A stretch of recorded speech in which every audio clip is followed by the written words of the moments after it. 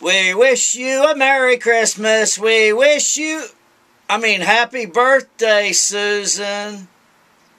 Hope it's a good one. Happy birthday. See ya.